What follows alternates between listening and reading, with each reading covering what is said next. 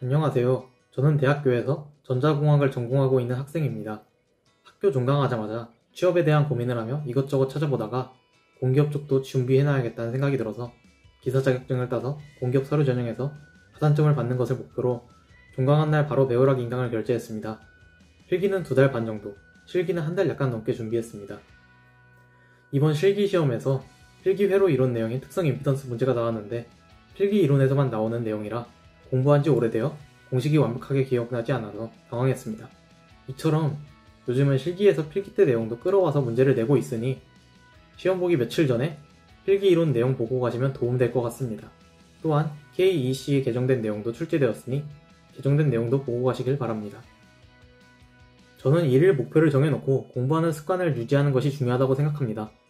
필기 시험의 경우 저는 공부를 비교적 일찍 시작해서 하루 5개에서 6개 정도의 강의를 듣는 것을 목표로 공부했습니다. 목표치에 도달하지 못한 날이 있으면 다음날 강의를 더 들었습니다. 이론 강의를 모두 듣고 나면 기출문제의 몇 회치를 풀 것인지를 정해놓고 풀었습니다. 실기는 시간이 촉박해서 필기 때보다 더 많은 하루 목표치를 정하고 공부했습니다. 처음에는 강의 하나 듣는 것도 지루하고 벅찼으나 습관이 되다 보니 착실하게 들을 수 있었습니다. 이처럼 시험 날짜와 본인의 남은 공부량을 보고 적절한 하루의 목표를 정해서 공부하면 뒤처지지도 않을 뿐더러 심리적인 불안감도 어느 정도 해소할 수 있어서 좋은 것 같습니다. 저는 필기와 실기 둘 다 강의를 들으면서 주요 내용들을 노트에 필기를 하면서 들었습니다. 필기 과목은 총 5개니까 이렇게 5개로 나뉘어져 있는 공책 사셔서 필기하시면 도움될 것 같습니다. 기출 문제를 풀면서 틀리고 몰랐던 내용도 따로 노트에 필기하여서 가지고 다녔습니다. 필기는 7개년 기출을 풀고 시험을 봤는데 충분하다고 느낄 만큼 이론이 탄탄하면 어렵지 않다고 느꼈습니다. 실기는 필기시험 끝나고 시간이 촉박하니 바로 시작하는 게 좋습니다. 저는 이론 강의를 빠르게 듣고 기출을 풀어보았습니다. 기출을 여러 번 풀면서 여러 번 풀어도 틀린 문제들만 모아서 시험 직전에 다시 보았습니다. 기출을 최대한 많이 풀어보아야 합니다. 실제로 시험장에서 문제를 보면서 눈에 익는 문제가 많았습니다.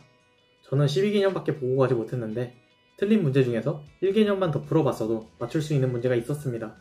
또한 단답 기출이 정리되어 있는 자료를 다운받아서 프린트해서 시간 날 때마다 외웠습니다. 단답 기출도 매번 한 문제 이상은 나와서 점수를 가져가실 수 있습니다. 의지가 박약하기도 하고 모든 계획을 스스로 세울 만큼 세심하지도 않았고 처음 보는 내용도 많았기에 이끌어줄 사람이 필요하다고 생각했습니다. 학원은 아무래도 오고 가는 시간도 아깝고 코로나 시국이라서 집에서 듣는 게 낫다고 생각했습니다. 인강은 이해되지 않았거나 놓친 내용을 다시 돌려볼 수 있다는 점이 좋습니다. 인강을 1배속으로 듣지 않고 본인 귀에 알맞게 1.2배속, 1.4배속 등으로 들으시면 시간 관리 면에서 효율적일 겁니다. 동해차 합격하겠다는 마인드로 공부하시는 것이 좋습니다. 대학생 여러분들은 학교 시험하고 겹치실 수가 있는데 기사 시험이 쉽게 출제될 수도 있으니 다음 회차에 가야지 하면서 포기하지 마시고 학교 공부 병행하면서 일정 수준은 공부해 놓으시는 것이 좋습니다. 저도 실기 공부를 학교 시험 공부랑 병행했는데 기사 시험이 비교적 쉽게 나와서 합격했습니다. 또한 각자 공부 환경이 다르기 때문에 공부 방법도 다르고 공부하는 시간도 다를 수 있습니다. 인터넷에서 다른 사람들이 몇 개는치 몇번 풀었다, 다 외웠다 이런 글 보시면서 조급해 하시지 마시고 스스로의 계획을 믿고 본인만의 페이스로 공부하시기를 바랍니다. 전기기사 수험생 여러분의 합격을 응원하겠습니다.